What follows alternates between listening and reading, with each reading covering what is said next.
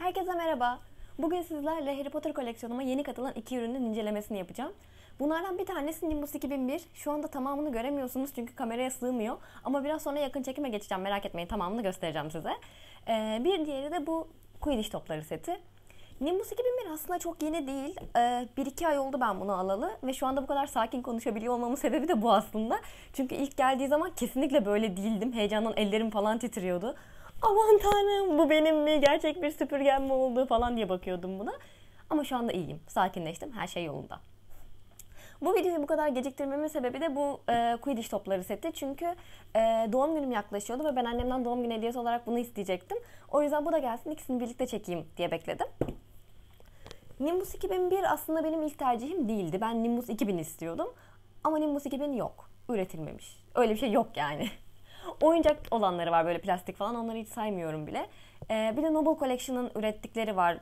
Minik, minyatür e, olanlar. Ama öyle minyatür bir şey istemiyordum. Böyle gerçek boyutlu, gerçek bir süpürge istiyordum. O yüzden ya Nimbus 2001 olacaktı ya da Ateş Oku olacaktı. Ve e, Ateş Oku'nu çok fazla sevmiyorum ben. Biraz çirkin bir süpürge bence Ateş Oku. O yüzden tercihimi Nimbus 2001'den yana kullandım ve bence çok doğru bir tercih yaptım. Çünkü bu çok güzel. Noble Collection'ın ürünü. Ve e, başta bu beni birazcık endişelendirmişti aslında. Çünkü Noble Collection ürünleri çok hassas oluyorlar. Aslında Noble Collection ürünleri değil. Genel olarak bütün koleksiyon ürünleri hassas oluyorlar. Şimdi Noble Collection'a atmayalım topu. E, ve böyle bir şeyin kırılmasını kesinlikle istemem. O yüzden de birazcık endişeliydim nasıl bir şey geleceği konusunda. Ama bu neyse ki öyle çok kolay kolay kırılacak bir şeye benzemiyor. Yani kırılabilir ama öyle çok da kolay kırılacak bir şey olduğunu sanmıyorum. Sap kısmı tahtadan yapılmış. Siyah ve cilalı, pasparlak bir görüntüsü var. Çok hoş duruyor. Ucunda Nimbus 2001 yazıyor. Bu da çok hoş bir amblem bence.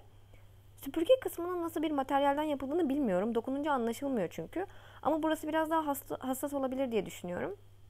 İçinde hafif yeşil bir renk var. Uçları gri. Sırlar Odası'nda bu süpürgeyi bütün Slytherin takımının kullandığını düşünecek olursak renklerin böyle olmaması ayıp olurdu zaten. Şurada metal bir ayak var. Bunu hem dik durması için stand olarak kullanabiliyorsunuz. Hem de süpürgenin pedalı bu. Şuraları dönüyor.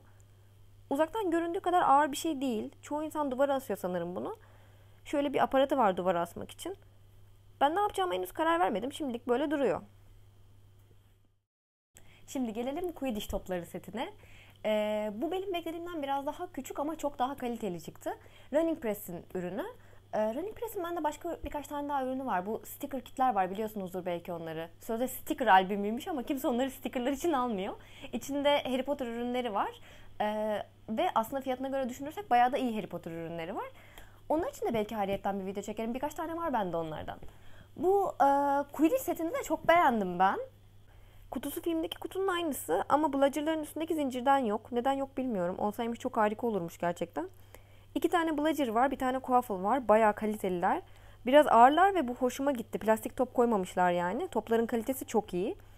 Bir de snitch var ama o çıkmıyor sabit. İnternette gördüğüm kadarıyla kutunun altında bir de poster varmış ama ben çıkartamadım. Şu kısmın altında ve bu kısım öyle çok kolay çıkmıyor. O yüzden zorlayıp bozmak istemedim. O yüzden o poster orada kalacak. Ben ikisini de çok beğendim. Eğer almayı düşünen varsa kesinlikle tavsiye edebileceğim ürünler. Ee, tabii ben genel hatlarıyla inceledim. Eğer merak ettiğiniz başka bir şeyler varsa yorumlar kısmında sorabilirsiniz. Eğer bu iki üründen birine sahipseniz yorumlar kısmında kendi görüşlerinizi paylaşabilirsiniz. Ee, videomu beğendiyseniz beğene tıklamayı ve yeni videolarımdan haberdar olmak için kanalıma abone olmayı unutmayın lütfen.